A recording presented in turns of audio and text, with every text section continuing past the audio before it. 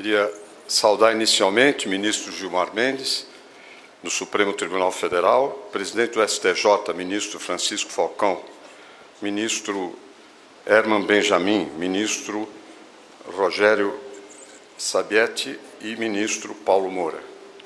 Queria cumprimentar e, através dele, todos os deputados aqui presentes, o presidente da Comissão de Relações Exteriores da Câmara, Pedro Vilela, e o presidente da Comissão de Relações Exteriores do Senado, meu colega do Senado, Aloysio Nunes, através de quem cumprimento todos os nossos queridos amigos senadores.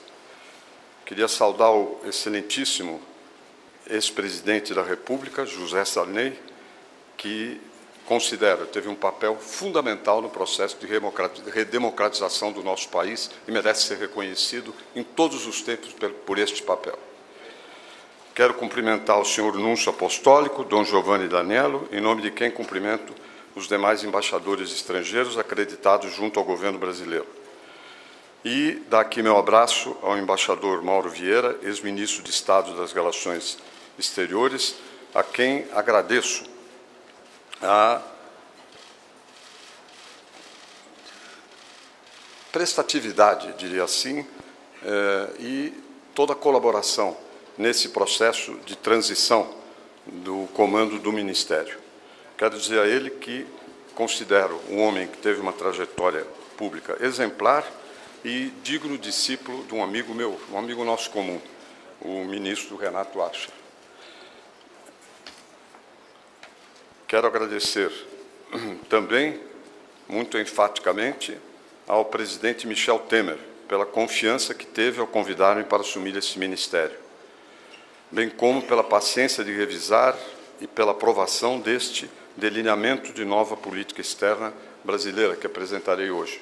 O presidente leu ao meu lado, linha por linha, fazendo seus comentários, que naturalmente levei em conta.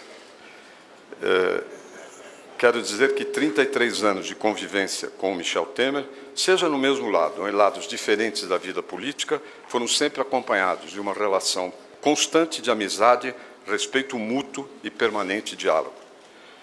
E quero, por último, aqui agradecer a presença dos meus colegas de ministério, são muitos, eu os saúdo em nome do ministro Romero Jucá, que quis o destino, vai ter um papel junto comigo fundamental para a recuperação das Finanças do Ministério do Itamaraty.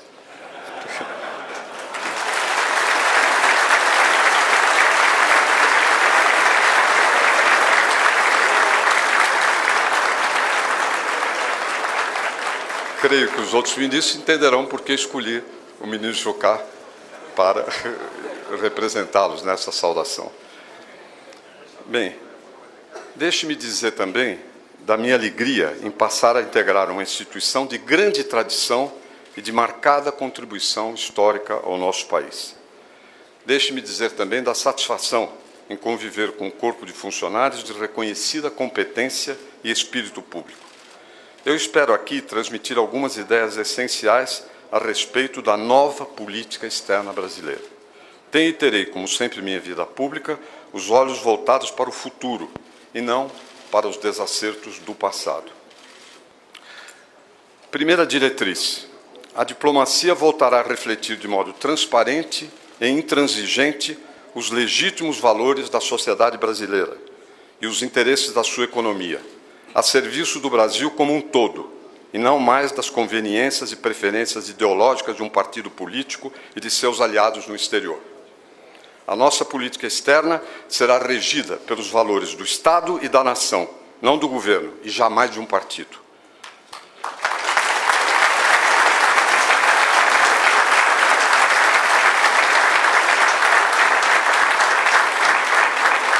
Essa política, nova política, não romperá com as boas tradições do Itamaraty e da diplomacia brasileira, mas, ao contrário, as colocará em uso muito melhor.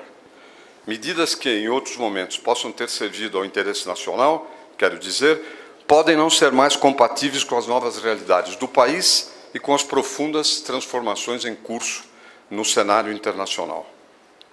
Segunda diretriz: estaremos atentos à defesa da democracia, das liberdades e dos direitos humanos em qualquer país, em qualquer regime político, em consonância com as obrigações assumidas em tratados internacionais e também em respeito ao princípio da não ingerência.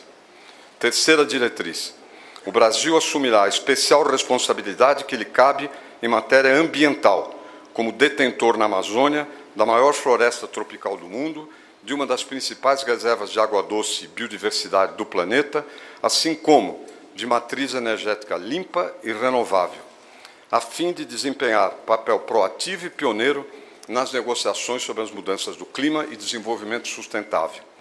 Lembro que, se fizermos bem a lição de casa, poderemos receber recursos caudalosos de entidades internacionais interessadas em nos ajudar a preservar as florestas e as reservas de água e biodiversidade do planeta, uma vez que o Brasil faz a diferença nessa matéria.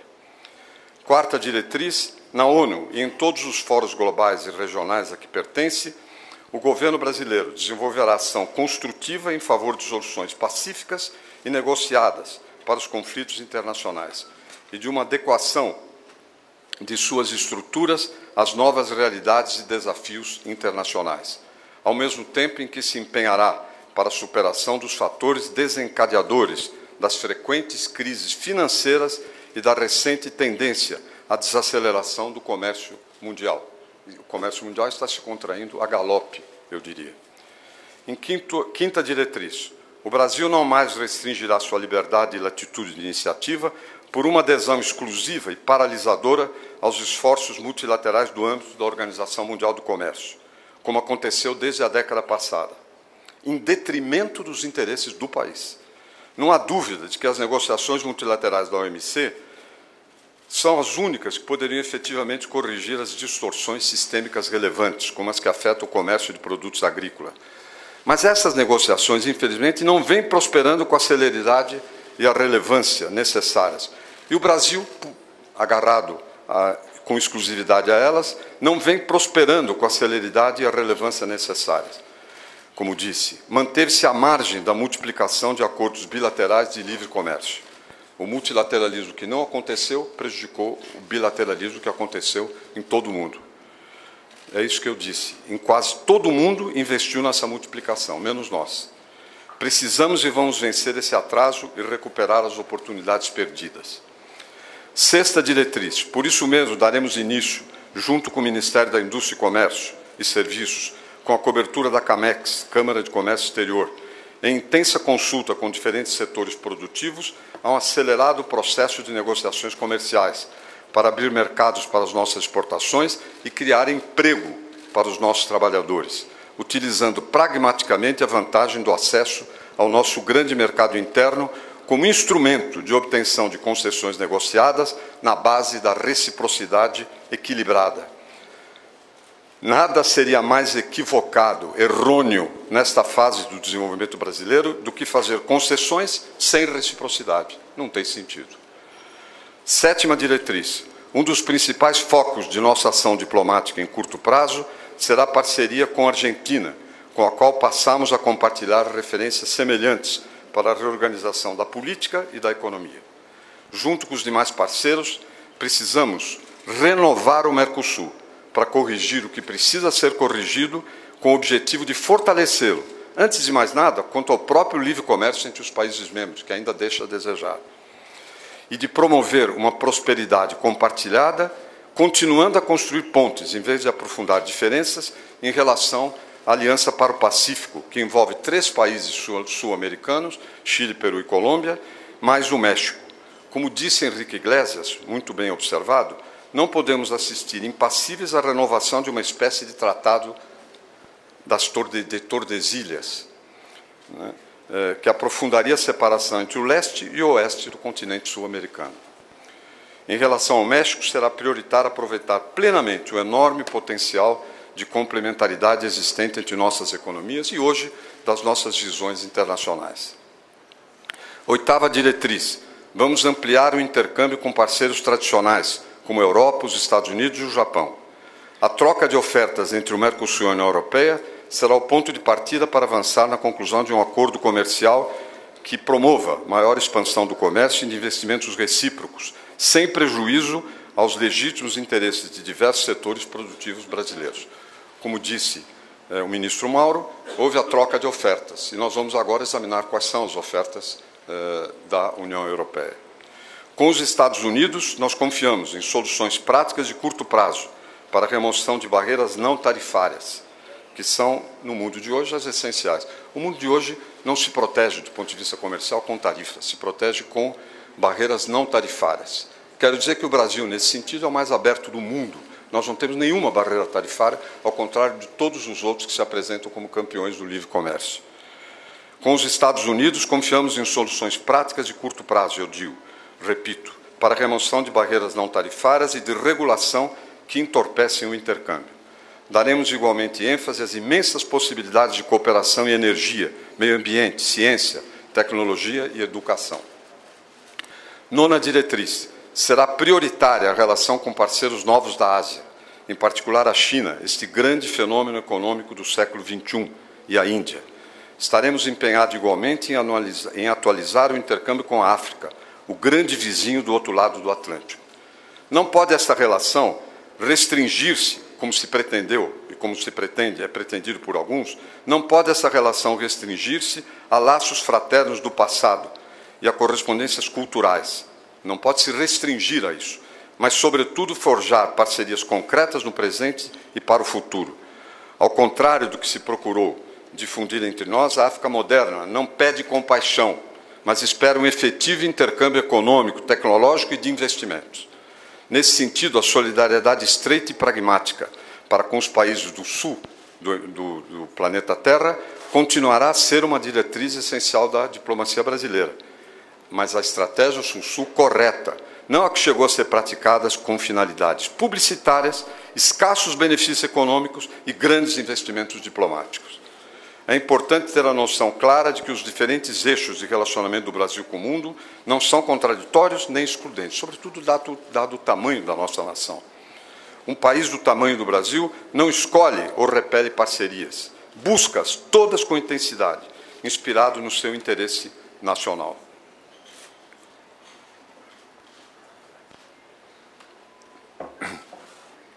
Vamos também aproveitar as oportunidades oferecidas pelos fóruns interregionais com outros países em desenvolvimento, como, por exemplo, é o caso dos BRICS, para acelerar intercâmbios comerciais, investimentos e compartilhamento de experiências. E com sentido de pragmatismo, daremos atenção aos mecanismos de articulação, além da África, com os países árabes. Décima diretriz: nas políticas de comércio exterior, o governo terá sempre presente a advertência que vem da boa análise econômica, que nunca deve ser esquecida, apoiada em ampla e sólida consulta com os setores produtivos. É ilusório supor que acordos de livre comércio signifiquem necessariamente ampliação automática e sustentada das exportações. Só há um fator que garante esse aumento de forma duradoura: o aumento constante da produtividade e da competitividade. Se alguém acha que basta fazer um acordo e abrir, que isso é condição necessária e suficiente, está enganado. É preciso que nós investamos, investimos, é preciso investir no aumento constante da competitividade, da produtividade e da competitividade. Daí a ênfase que será dada à redução do custo Brasil, mediante a eliminação das distorções tributárias que encarecem as vendas ao exterior e a ampliação e modernização da infraestrutura, por meio de parcerias com o setor privado, nacional e internacional. O custo Brasil hoje é da ordem de 25%, ou seja, uma mercadoria brasileira, idêntica a uma mercadoria típica média dos países que são nossos parceiros comerciais, custa, por conta da tributação, dos custos financeiros, dos custos de infraestrutura, dos custos tributários, 25% a mais. Imagine o desafio que nós temos por diante. E apenas assumi o ministério, eu me dei conta, conversando com o nosso embaixador na China, Roberto Jaguaribe, do esforço de nossas embaixadas para atrair investimentos nesses setores básicos da economia. O Roberto estava lá trabalhando, inclusive, para seduzir os capitais chineses a vir ao Brasil investir em parceria com o Estado brasileiro nas obras de infraestrutura. Esse esforço será multiplicado, tenho certeza, com sucesso.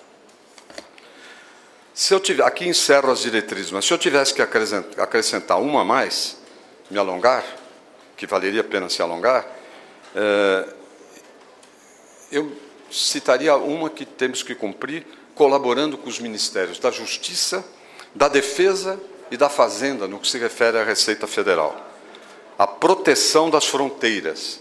Hoje, o lugar geométrico do desenvolvimento do crime organizado no Brasil, vamos ter isso claro, que se alimenta do contrabando de armas, contrabando de mercadorias, que é monumental, e do tráfico de drogas. Em especial, nos empenharemos em mobilizar a cooperação dos países vizinhos para uma ação conjunta contra essas práticas criminosas que tanto dano trazem ao nosso povo e à nossa economia. Por último, não menos importante, quero reafirmar meu compromisso com as comunidades brasileiras no exterior e o bom funcionamento do nosso serviço consular. Continuaremos a dar atenção prioritária a garantia dos direitos dos cidadãos brasileiros onde quer que eles estejam. Dirijo-me agora ao corpo de funcionários do Ministério. Nós vamos recuperar a capacidade de ação do Itamaraty, acreditem. Num período de grandes transformações e, por que não dizer, incertezas no cenário internacional e de promissoras mudanças internas, a nossa diplomacia, não tenho dúvida, terá de gradualmente atualizar-se e inovar, e até mesmo ousar, promovendo uma grande reforma modernizadora nos objetivos, métodos e técnicas de trabalho. A diplomacia do século XXI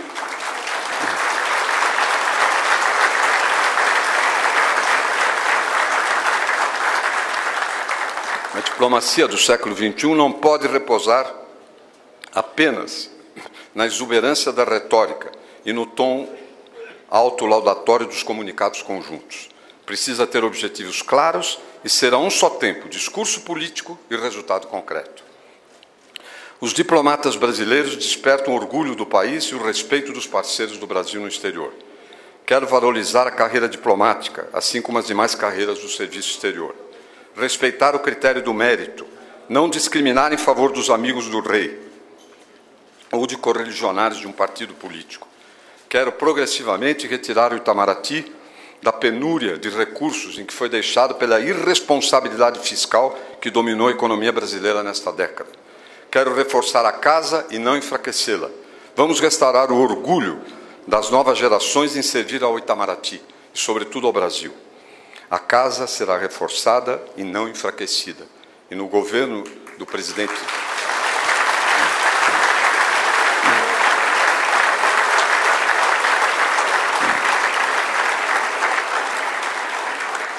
E no governo do presidente Temer, o Itamaraty volta ao núcleo central do governo.